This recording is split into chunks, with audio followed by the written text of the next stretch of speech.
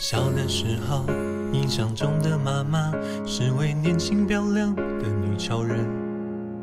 她身怀十八般武艺，无所不能。她不会累，她不会困，整夜整夜照顾生病的我。她也不会饿，把最好吃的都给了我。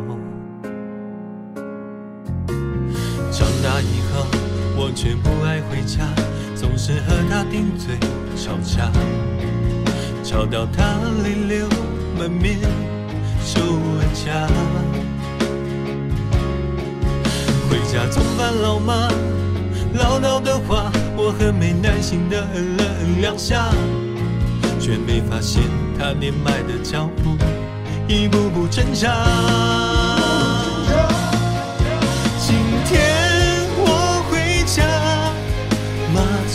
有了白头发。原来女超人也会渐渐老呀，记性越来越不好，却依然常常牵挂。急忙问我身体怎样，在外国的好吗？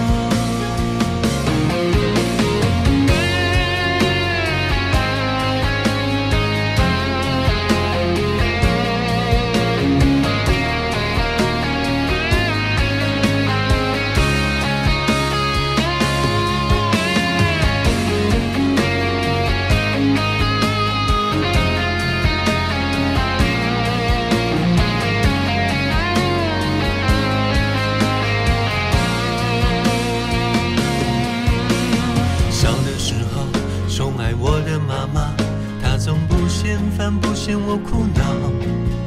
我千百遍那是什么，他总耐心回答。每次过年给我买新的衣裳，他多年的旧衣服还穿着。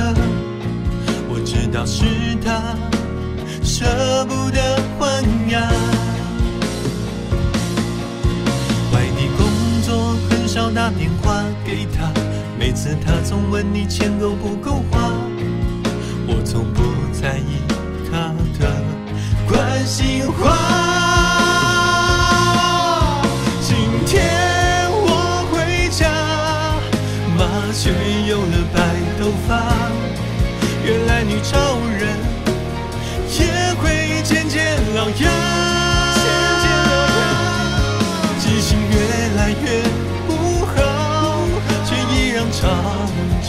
牵挂，依然记得我爱是傻。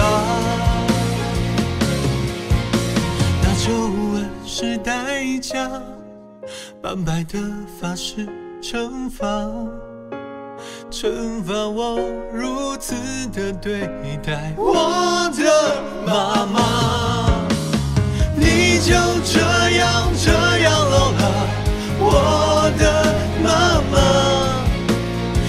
你就这样这样